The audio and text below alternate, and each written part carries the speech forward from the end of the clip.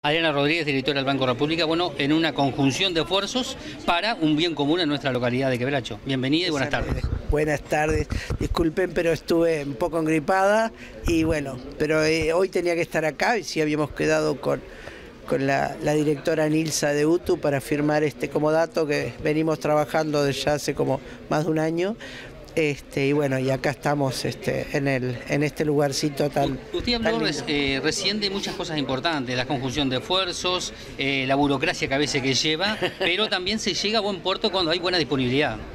Sí, porque este, ya digo, este, este comodato que firmamos, que un poco en chiste yo decía que lo vieron escribanos, abogados, es decir, porque así son las cosas del banco y a veces nosotros también rezongamos, pero tenemos que, que y sentimos la verdad que, este, que está bueno porque nos da seguridad a todos. Seguridad al banco que entrega la casa, seguridad a UTU que la recibe, seguridad al, arreglo que, se hace, ¿no?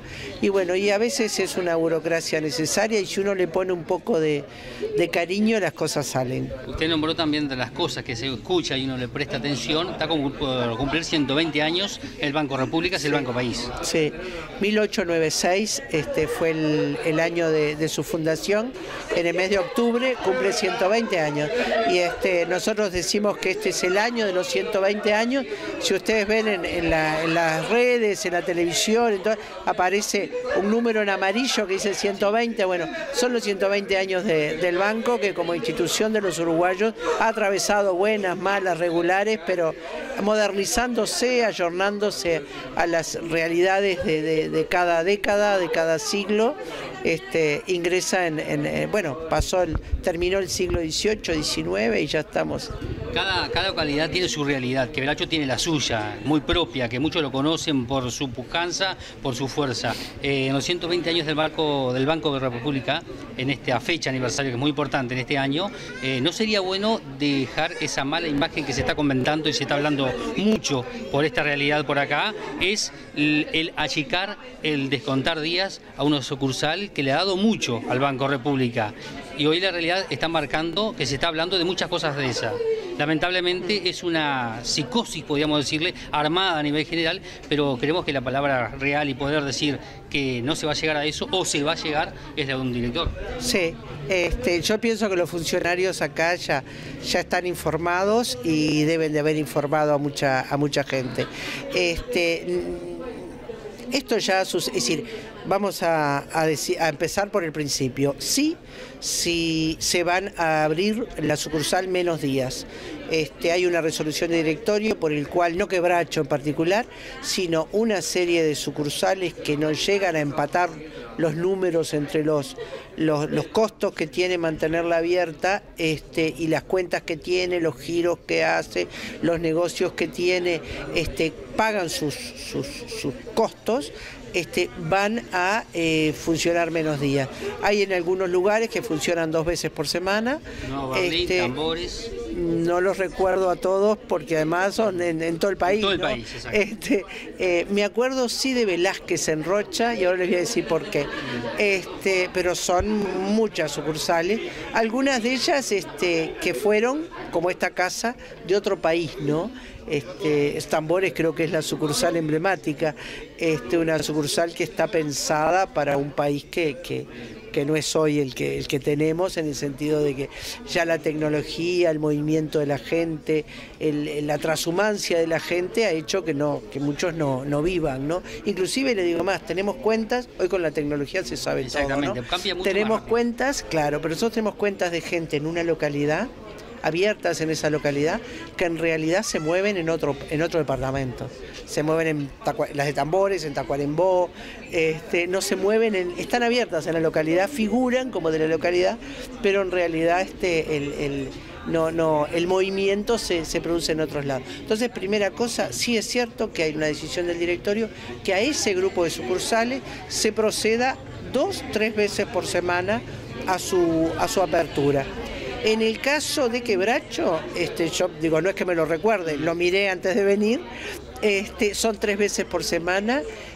¿A partir de qué fecha? No hay fecha todavía, no hay fecha porque todo eso depende de, un montón de, circunstancias que los gerentes este, dispondrán de acuerdo al estudio del, por ejemplo, le pongo San Gregorio Polanco, en verano va a tener un tratamiento especial, porque en verano es un balneario, o sea, en cada sucursal va a haber un plan especial para este funcionamiento, ¿no?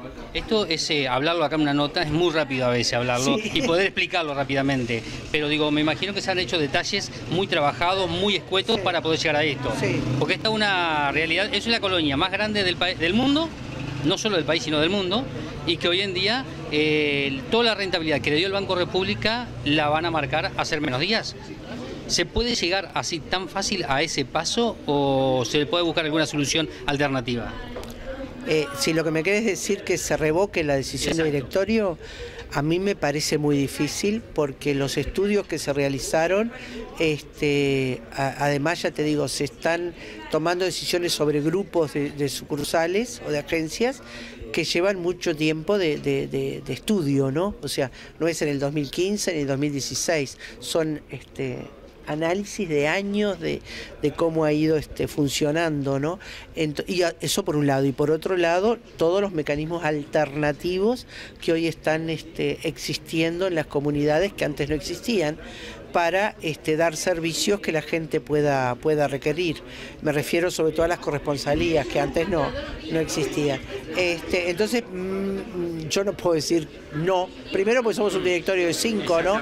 Pero, este, pero eh, me parece que cuando tomamos la decisión, o sea, cuando nuestros gerentes elevaron a directorio toda la información y los estudios para tomar la decisión, fueron muy contundentes y muy detallados, ¿no? Y me parece que a menos que esos números cambiaran, cosa que puede suceder,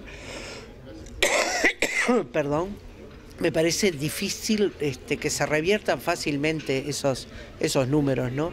Este, y mi experiencia este, es que en realidad solo en Velázquez, por eso me acuerdo de Velázquez en Rocha, hicimos una modificación a pedido de la gente, porque se había dispuesto, que nos pareció totalmente lógica y que mucha gente la ha pedido a partir de ahí, que es una sucursal que abre dos veces por semana, no tres. No lunes, miércoles y viernes, sino era martes y jueves. Entonces este, los, los comerciantes, los pequeños comerciantes decían que ellos del jueves al martes era mucho tiempo, que si lo podíamos hacer lunes y jueves o martes y viernes. ¿Y fue la única localidad que cambió? Eh, fue, no, después subieron otras que el boca a boca funciona muchísimo, que ya de entrada pedían, bueno, si nosotros pasamos a dos, queremos martes y viernes. Para, eso, eso es este es así y no, no hubo problema. Pero me refiero que fue Velázquez porque por eso me acuerdo. Después el resto, la verdad que no, no, no, no la recuerdo de memoria, pero son muchas, ¿no? El agradecimiento por estar en Quebracho y junto al programa Informe Local. No, por favor, a las órdenes. Muy bien.